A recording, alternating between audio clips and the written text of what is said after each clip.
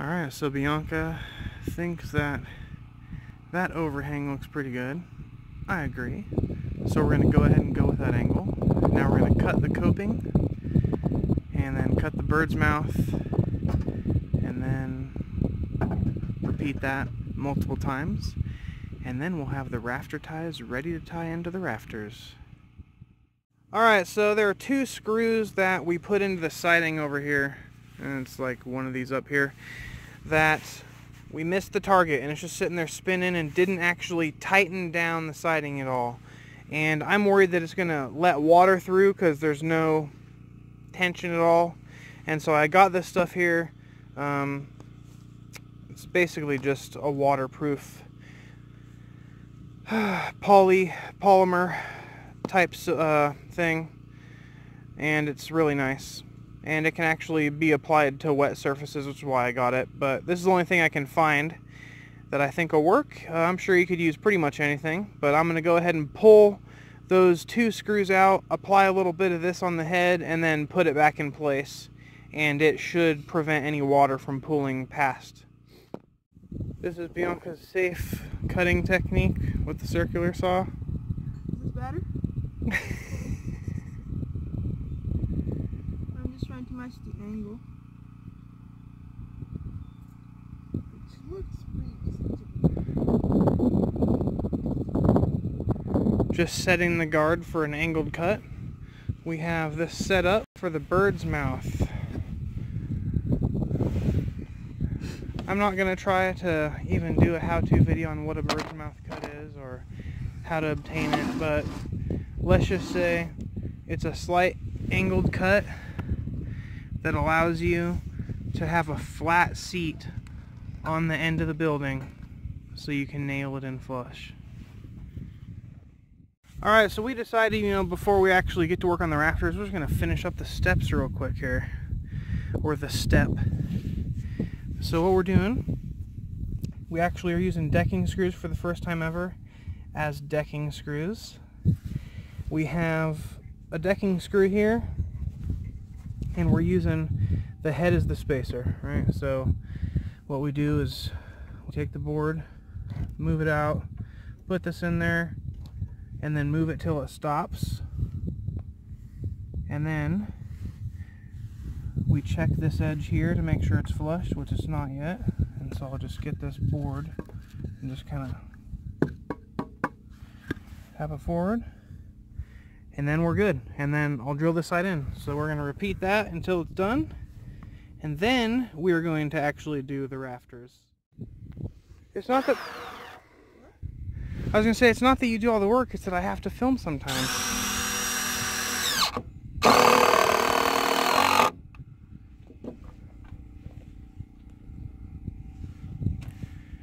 Got the ends of the screws in. The step is basically in place. It only took six 2x4 by 8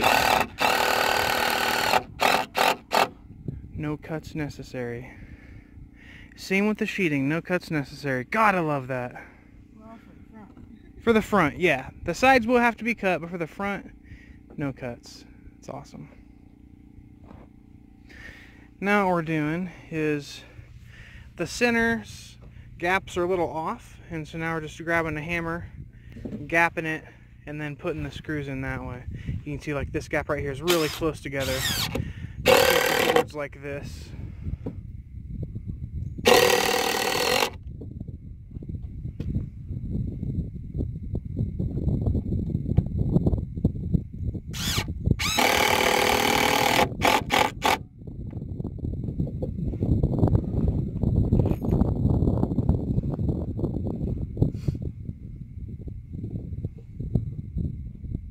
Now this one the gap's too big, so she's kind of forcing the board forward to close the gap. And then I will come in there right now and sink in a screw.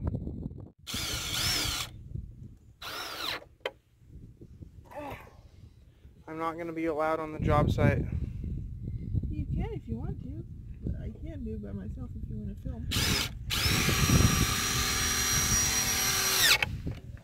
film.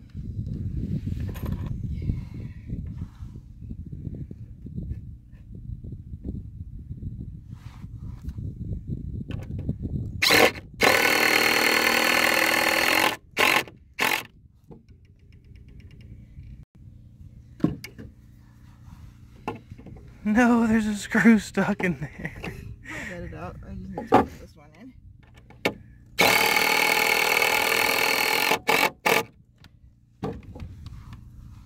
Awesome. Ha ha ha! Well, it went all the way through, so whatever. We can get it later. Three more to go.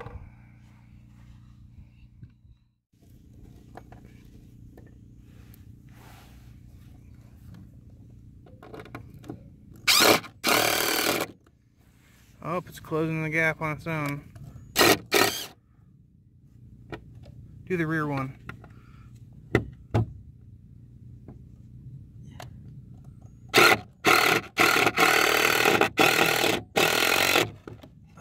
Nice.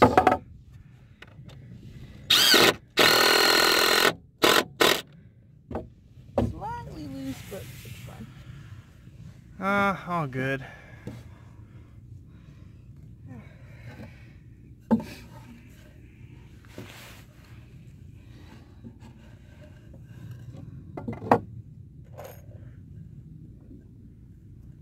What is that board for? Uh, because I, I don't know if I'm gonna have to push it against something, so I need something to push it. And my knee's not very good to push against the hammer, so a board. Oh, gotcha.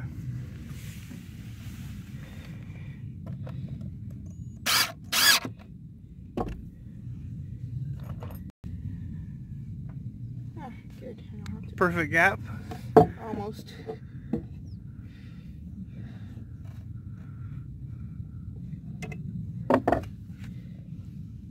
I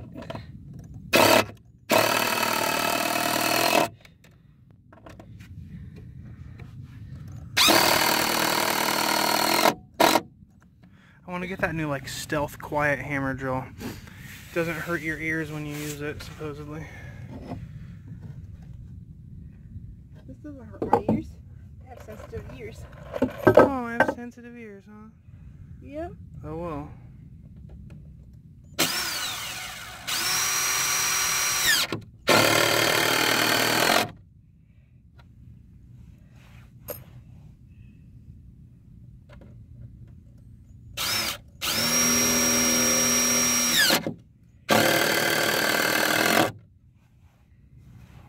Perfect. Our steps are done. All right.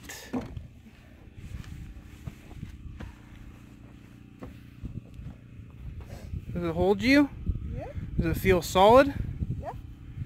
I stepped just on one. It kind of bends a little bit, but not that much either. Maybe we can just put like a couple more on the front one just in case. Yeah. All right.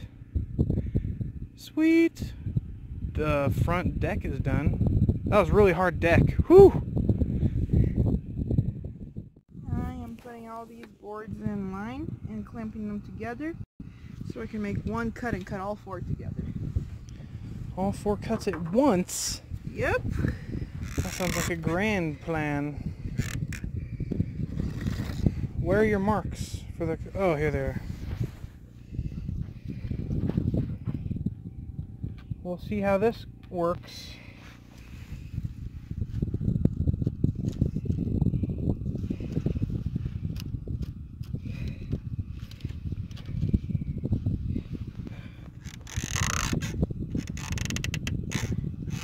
I need a strong man to press this for me.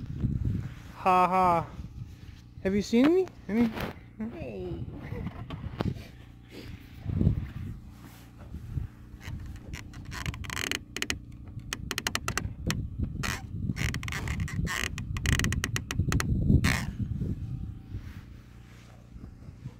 Thank you.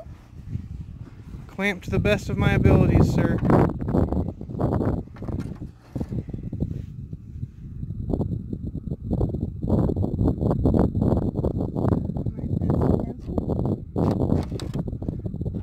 How do you get it that sharp?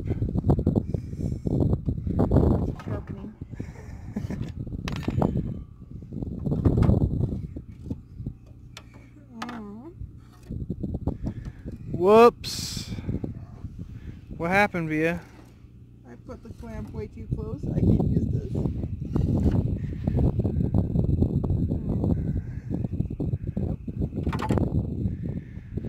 So are you telling me I have to re-clamp again? Freehand it. Here it goes. I'm supposed to cut from this side, so it's better. So it's perfect. You lucked out.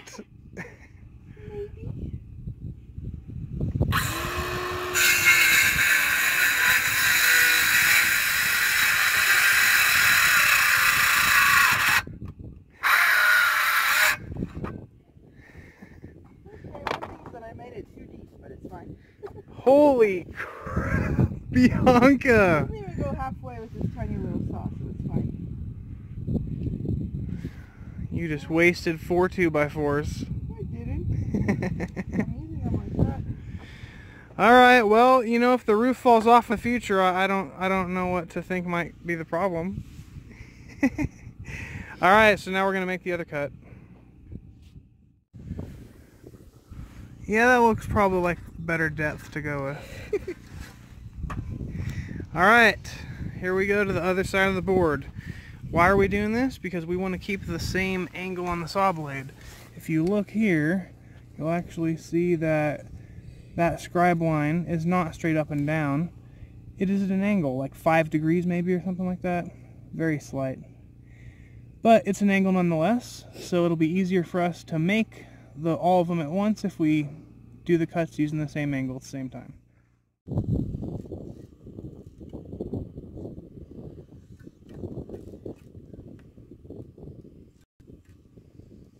That looks like a custom safety guard you got right there. Yep.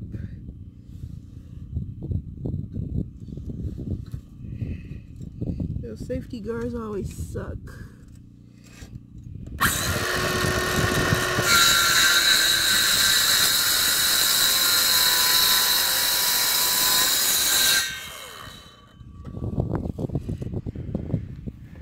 You weren't trying to cut the board in half?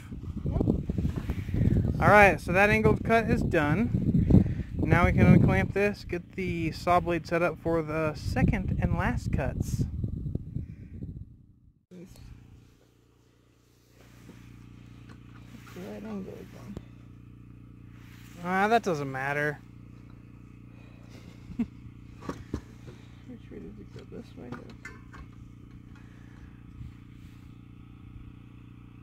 We are now attempting to square the blade back to 90 with the fence so that we can actually have a nice straight flush cut.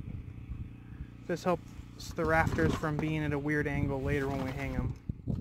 Oh, there you go. That's that's a greater idea. I like it.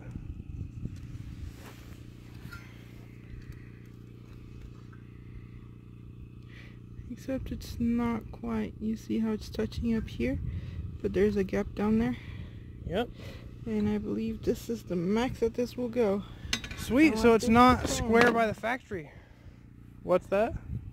Oh wow, if you look in here, here let me pull it sideways. This is slightly taller than the sides, so this touches this, and it's not touching at 90 degrees. So does that mean we can't make it 90? Yep, ever. Ever? Ah, just go get out a file. So we're now going to make our 90-ish cuts that the saw makes us use. I like it, dude. Duct tape on the fence guard, not 90 degrees. This is a great saw. This is a great saw. Believe it or not, this tool still works, okay? It doesn't matter. Oh yeah, now what we're trying to do is we're trying to make this tiny cut here. Line. Very slight. I was going to go deeper here, but then it would have to be like a four inch cut down here, and you only be using this much of it, so we're going to go with a shallow cut.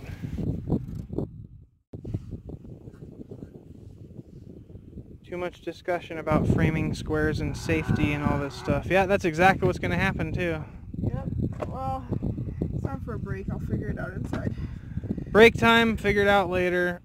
Weird cuts, take time.